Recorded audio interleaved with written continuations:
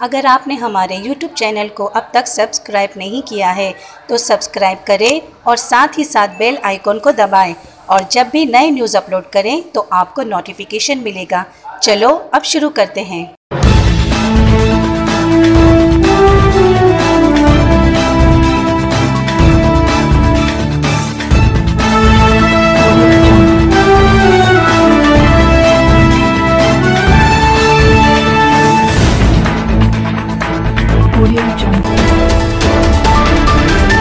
नमस्कार India news seven में आपका स्वागत है। मैं हूँ आपके साथ राजकुमारी ठाकुर और आइए नज़र डालते हैं आज की कुछ खास खबर पर। उत्तर प्रदेश के मुख्यमंत्री द्वारा संचालित योजना सामूहिक विवाह समारोह में नवयुवक जोड़ों ने थामा एक दूसरे का हाथ और खाई जीवन भर एक दूसरे का साथ निभाने की कस्में।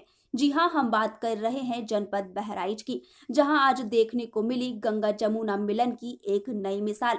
जहाँ एक और लगे थे हिंदू रीति रिवाज के मंडप तो वहीं दूसरी तरफ़ मुस्लिम रीति रिवाज के अनुसार नवयुवक जोड़ों के निकाह का भी सजाया गया था मंडप। बेसिक शिक्षा मंत्री अनुपमा जायसवाल ने सामूहिक विवाह समारोह में हिस्सा लेकर निभाया विवाहिता जोड़ों के मुखिया का किरदार और दिया वर वधु को आशीर्वाद।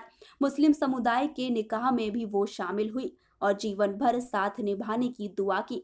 वहीं दूसरी तरफ़ उत्तर प्रदेश के मुख्यमंत्री योगी आदित्यनाथ को हज़ारों लोगों ने किया धन्यवाद। यूपी सरकार की वजह से आज 142 जोड़ों का हो पाया सामूहिक विवाह। किसान पीजी कॉलेज में गूंजी शहनाइयों की गूंज। बहराइच मुख्य विकास अधिकारी और उनकी विभागीय टीम ने साकुशल कराया संपन्न। मुख्यमंत्री सामूहिक विवाह में जुटा प्रशासनिक महकमा। बहराइच से अनिरुद्ध मिश्रा की रिपोर्ट। मुख्यमंत्री सामूहिक विवाह योजना के अंतर्गत आदरणीय मुख्यमंत्री ने संकल्प लिया है। कि अब कोई भी बेटी ऐसी नहीं रहेगी। जिसके पैसे के अभाव में उसका विवाह न होने पाए या उसके माता पिता का मन न सोचे कि मुझे अपनी बेटी के हाथ पीले करने और मेरे पास पैसे नहीं। पहले इसमें बीस हज़ार रुपये दिए जाते थे लेकिन अब पैंतीस हज़ार रुपये की व्यवस्था की गई है जिसमें बीस हज़ार रुपये बिटिया के खाते में जमा किए जाते हैं। और दस हज़ार रुपये में उसकी शादी का सर सामान दिया जाता है, जिसमें जेवर भी है, कपड़े भी है, बिछिया है, पायल है, और साथ ही साथ एक मोबाइल फ़ोन भी उपलब्ध कराया जा रहा है। इसके साथ साथ पाँच हज़ार रुपये जो आप देख रहे हैं कितनी भव्य व्यवस्था है। इतना शानदार पंडाल लगा हुआ है खाने की पीने की। और पंडित जी भी पूरी रीत रिवाज के अनुसार परंपरा के साथ शादियाँ करा रहे हैं। अस्सी जोड़ों का विवाह इधर हिंदू रीति रिवाज से हो रहा है और मेरे ठीक बगल के पंडाल में बयालीस जोड़ों का विवाह मुस्लिम रीति रिवाज। और जिस तरीके के इंतज़ाम देखकर कहा जा सकता है ये कोई भी बेटी ऐसी नहीं ऐसा नहीं लग रहा हो कि कोई साधारण विवाह हो रहा है। ऐसा लग रहा है जैसे राजा महाराजा बादशाहों और शहंशाहों की बेटी की शादी हो रही हो।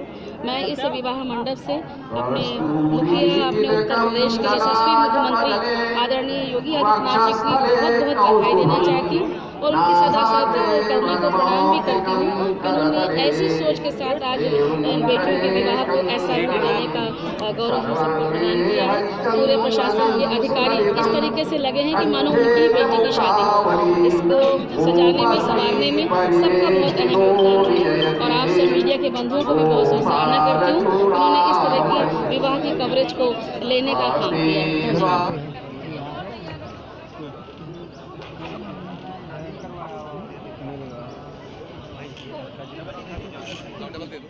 कानूनी कार्रवाई होगी वही शरीयत के से भी आप मुजीब करार दिए जाएँगे, शरीयत में भी वो अपनी अपनी लड़की के पास बैठ जाए।